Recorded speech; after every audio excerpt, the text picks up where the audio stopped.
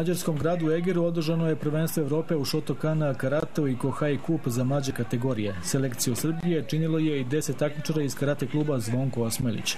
Tri takmičara pominutog kluba su osvojili medalje, a to su Nemanja Osmelić koji je postao prvak Evrope ekipno u borbama za seniore i vice šampion Evrope pojedinačno u borbama za seniore. Dakle, zlatna i srebrna medalja. Luka Petrović je osvojio drugo mesto na Kohai kupu u Katama, dok je Lazar Petrović osvojio treće mesto na pomenutom takmičenju.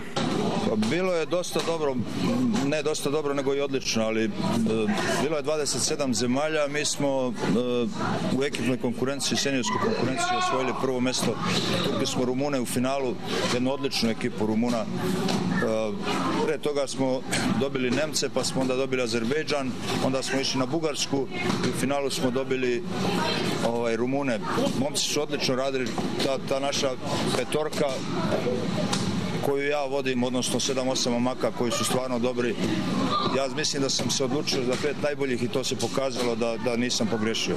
Jako mi je drago što uh, juniori koji dolaze iza njih i koji ih prate u stopu, to su takođe su bili prvaci, a kadeti opet jure juniore po znacima navoda, tako da stvarno imamo jedan sjajan, sjajnu generaciju i ovih, da kažem uslovno starijih i ovih mlađih takmičara.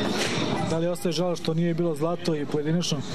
Pa može da se kaže da postoji taj žal za tim zlatom pojedinačno, ali svakako imao sam teške meče e, prvo sa vrhunskim Rumunom koji je važio za, za čovjeka koji će sigurno osvojiti neku od medalja, na kraju je ispao u drugom krugu, a onda i sa Bugarom sam radio u polufinalnom meču koji je postao svoju apsolutno prvo mesto, tako da i izuzetno teški mečevi i onda u finalu već malo i nedostatak e, snage, a i nijanse su odlučivale pri rezultatu 1-1 možda 20 sekundi pred kraja ja sam napravio jednu grešku i to me koštalo zlatne medalje.